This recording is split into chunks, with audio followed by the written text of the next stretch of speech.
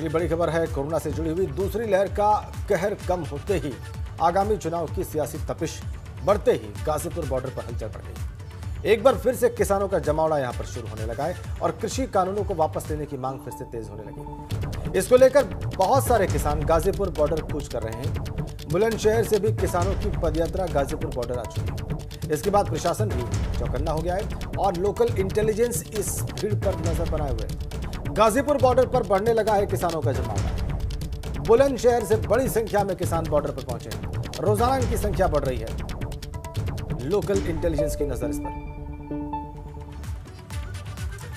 और ज़्यादा जानकारी के लिए रुक करते हैं हमारे संवाददाता शक्ति सिंह हमारे साथ गाजीपुर बॉर्डर से जुड़े हुए हैं। शक्ति, बताइएगा, कल से किसानों के पहुँचने का जो सिलसिला शुरू हुआ, फ़िलहाल गाजीपुर बॉर्डर की स्थिति क्या है? यहाँ पर कितनी संख्या में किसान हैं और क्या रणनीति अब आगे के लिए बनाई जा रही है?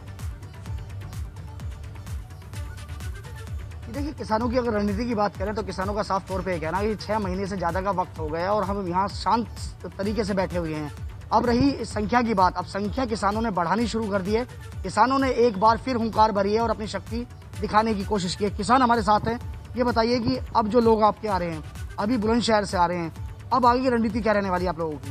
देखो, हर ज़िले से इस तरह से ही किसान आएँगे, क्योंकि ये कोरोना काल चल रहा था। इसमें गाइडलाइन का पालन करा किसानों ने, और यहाँ केवल भीड़ उतने ही लोग रुके जितने की यहाँ ज़रूरत थी। अब संख्या बढ़ेगी, और किसानों ने दोबारा हुंकार भरने शुरू कर दी है लेकिन जिस तरह से किसानों ने तो कोरोना में गाइडलाइन का पालन किया, लेकिन सरकार ने नहीं किया। सरकार पिछले वर्ष कोरोना काल में ही ये बिल लेकर आई, जबकि इन बिलों की ज़रूरत किसान को नहीं थी, और किसान पे ये बिल थोपने की सरकार ने पूरी कोशिश कर रहे हैं और आज भी किसान इस मानने को तैयार नहीं क्योंकि किसान के ये पक्ष में ही नहीं है आम जनता के पक्ष में ये बिल नहीं है तो किसानों की बात सरकार क्यों नहीं सुनती? शक्ति क्या वहाँ पर पक्का निर्माण हो रहा है? क्या अभी हम देख रहे हैं वहाँ पे निर्माण कार्य जैसा चल रहा है ईंटें दिखाई दे रही है वहाँ पर शक्ति। का भी ये कहना है कि बीच का रास्ता किस तरह निकलेगा? बीच का रास्ता तो सरकार ही निकाल लेगी। सरकार बात बैठ के बात करे सरकार ने बाईस जनवरी को बातचीत करनी बंद कर दी सरकार की आँख बंद है। मोदी जी को सोचना चाहिए करीब 500 के करीब किसानों ने आत्महत्या कर चुकी है।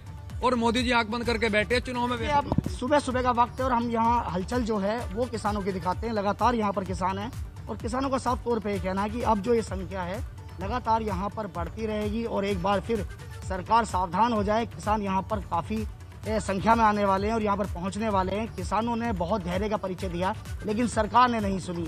जी। शक्ति हम देख रहे हैं वहाँ पर ईंटें हैं और पक्का निर्माण जैसा कुछ वहाँ पर दिखाई दे रहा है, इस प्रकार की सक्रियता दिखाई दे रही है। क्या ऐसा हो रहा है वहाँ पर? और अगर ऐसा हो रहा है तो क्या इसकी अनुमति है वहाँ पर आंदोलनरत किसानों को?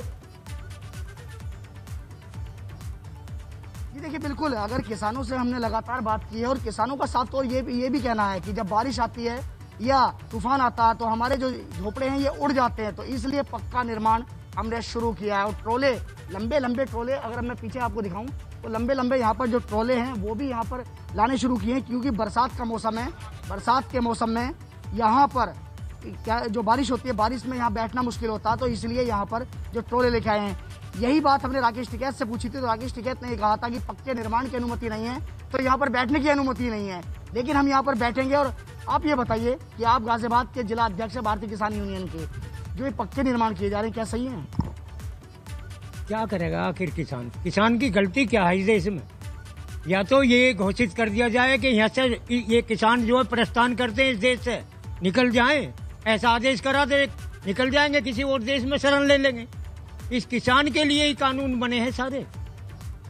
इस किसान के लिए कानून बनाए गए हैं तो उन्हें फॉलो क्यों नहीं किया जाता? इस किसान के लिए कानून बनाया सुप्रीम कोर्ट ने कि चौदह दिन में गन्ने का भुगतान किया जाए। उसे क्यों नहीं लागू किया गया आज तक? किसान का दो दो साल का पेमेंट नहीं हो रहा। ये सारे कानून इस किसान पे ही लागू हैं। जी। हम अपनी व्यवस्था करेंगे। जी ये बताइए कि आज बिल्कुल जो विषय किसान अपने साथ लेकर चल रहे हैं वो जस के तस बने हुए हैं और अब तो वहाँ पर जो निर्माण कार्य है उनको और पक्का करके किया जा रहा है। मतलब मंसूबे साफ़ है कि लंबे वक्त तक यहाँ पर टिककर बैठना है। बहुत शुक्रिया शक्ति।